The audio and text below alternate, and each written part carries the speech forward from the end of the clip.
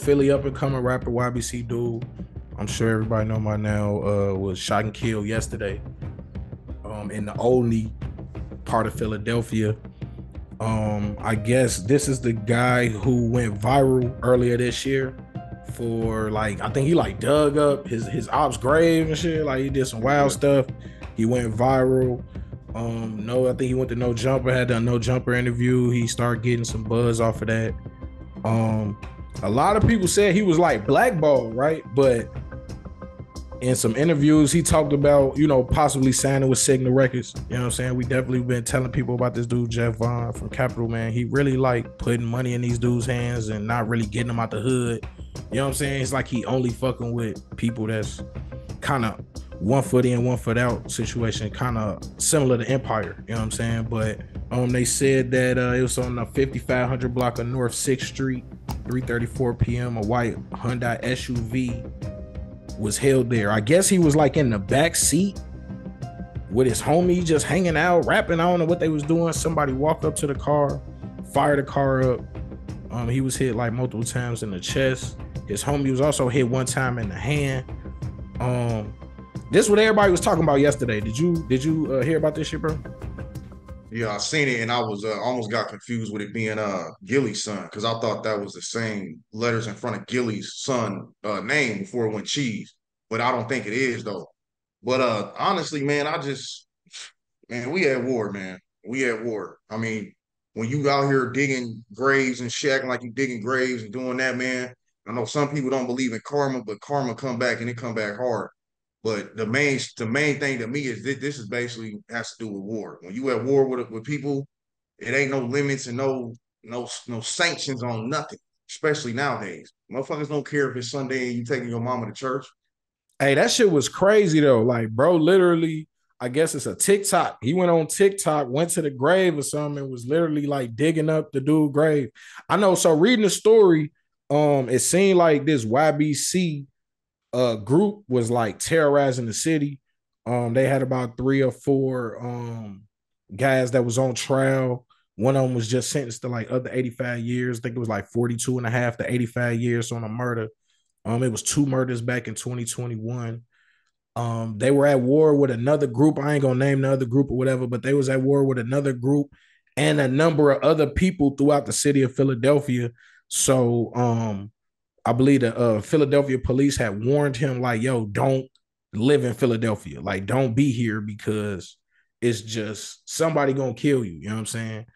Um, but nah, he linked up. So this is something that's crazy. So he when he's in LA, he's in the same label meetings as Bloodhound Lil Jeff and Lil Scoom.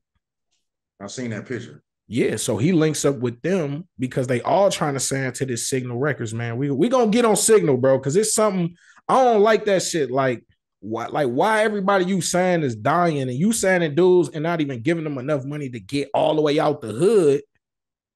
And you really it's like profiting because you're not giving them that much money, so you guarantee making way more money off these streams when they die. You know what I'm saying? Um, like the empire effect.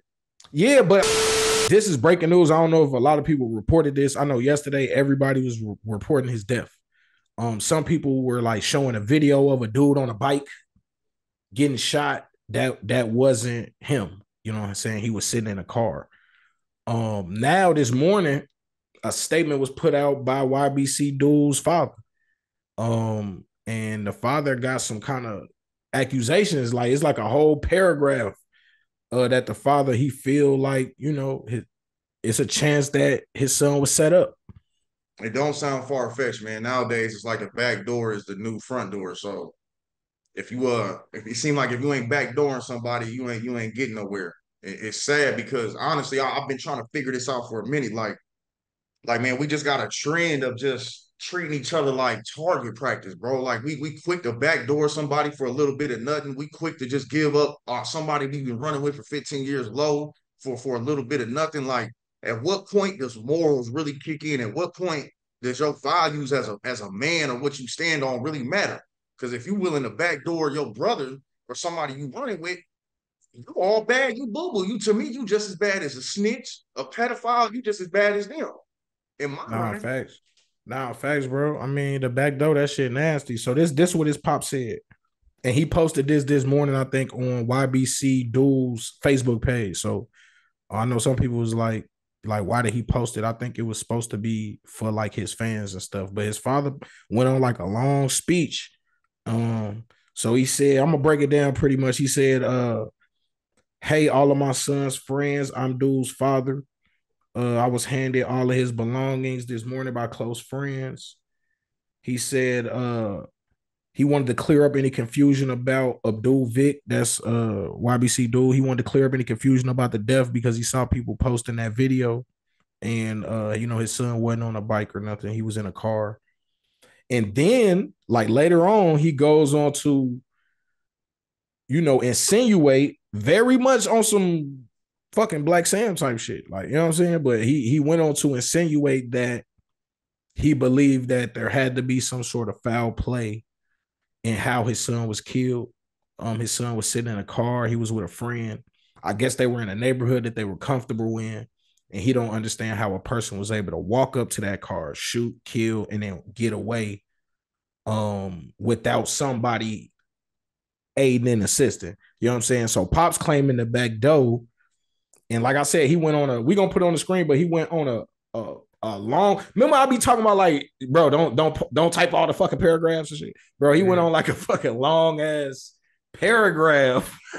he went on a smoky paragraph. yeah, he went on a long ass paragraph saying all this shit on YBC Dul's official, you know, Facebook page. I think it was. So that to me, I thought that was big news. I don't know if anybody reported that uh, as of now or whatever. I know everybody's reported the death, but basically, you know, why YBC Dul's father is is claiming the back door. Um, but you know what's crazy is what's uh, up? somebody pe- people going so some people gonna take that as a sign of snitching, right? And the part I, the problem I have with that is since when the fuck we call civilians snitches? But that ain't snitching though. His daddy, I don't but, think his daddy snitching. Yeah, I don't, I don't think his daddy snitching. I mean, uh, what's her name? Well, I guess that was a lady though, but Lil Scoom's mom had said she thought it was some backdoor activity too this summer, you know what I'm saying, we had the death of uh, Bloodhound Lil Jeff, we had the death of Lil Scoom, and now we got the death of uh, YBC Dul. They had a song together, bro. So there's a video out right now with like almost a million views. YBC Dul actually dropped a video for the song he got with them like in late July.